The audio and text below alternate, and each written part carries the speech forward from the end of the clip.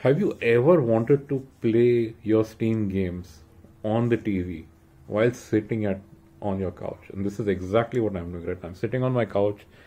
My PC is really far away from my television. It's not connected via an HDMI cable.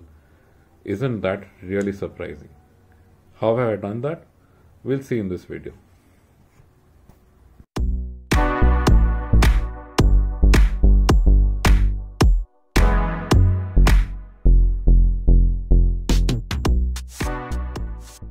The first step is you go to the app store and you search for the Steam Link app and you install that.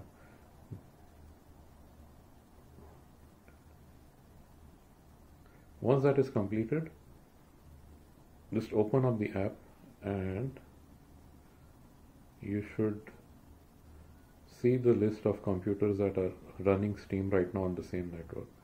So this is my desktop. I'll connect to that and it gives me a code over here. Now these four digit codes will show up on my PC as well.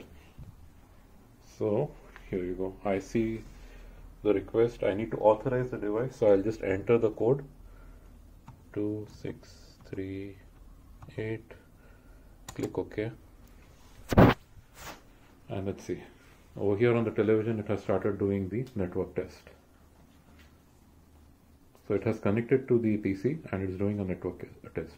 Now mind you, I'm connecting both of these wirelessly. So my PC is running on the Wi-Fi network as well as the television. So they both are connecting on the Wi-Fi network. Because of that, you can see that the variance that I'm getting, which is basically the ping or the lag, is 180 ms for the network time and plus minus 35 ms. Now this is a very high network time. If I connect it through the LAN, I get a much lower uh, MS.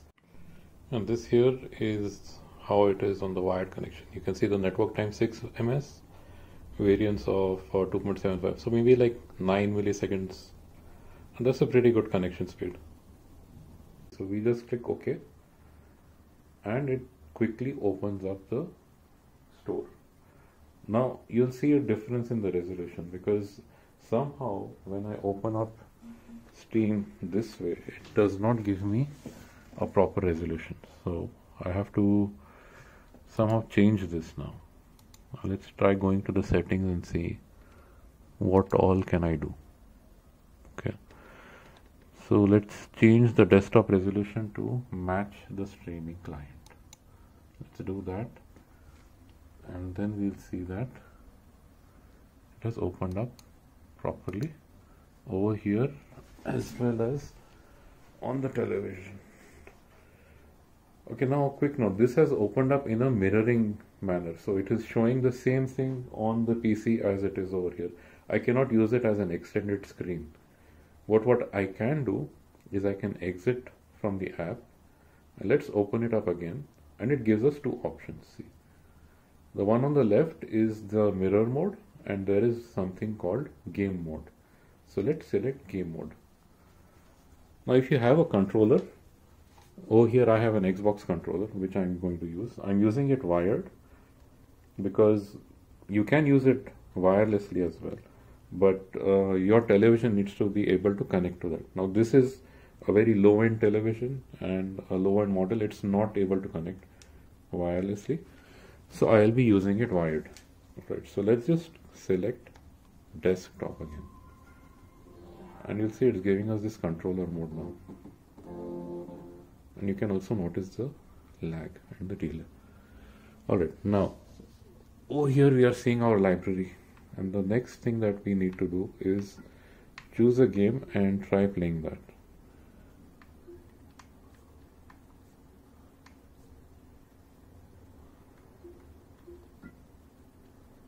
recent games and Hogwarts Legacy. So let's try playing that. Over here and you can see I'm using the controller to control everything alright. External controller, this is showing me the translation, how to use it.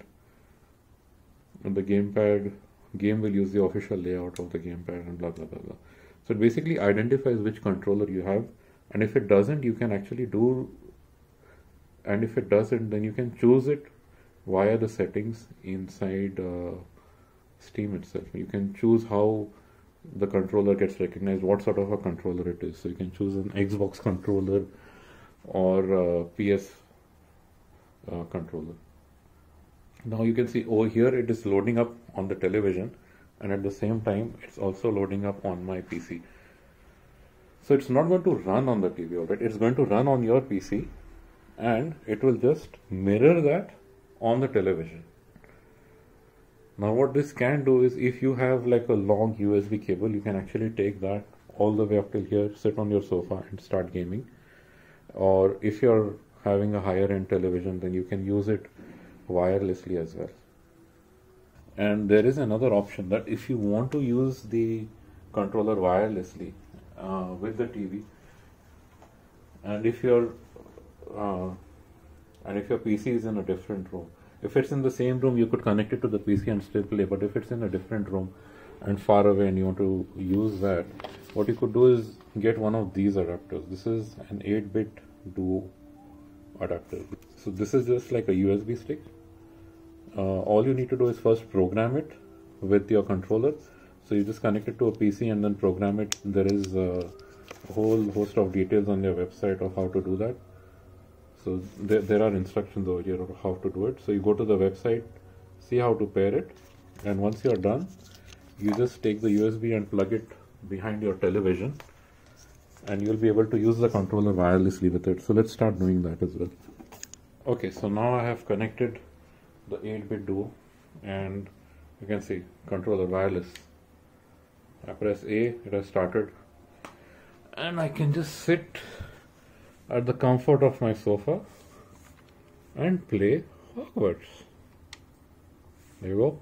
As you can see, for a story mode game, there is not much lag. You know, it's not really, it's there, but you won't really notice it inside a story game mode. If you're playing an FPS shooter like maybe Apex, uh, then yes, you will notice it, and Rainbow Six as well.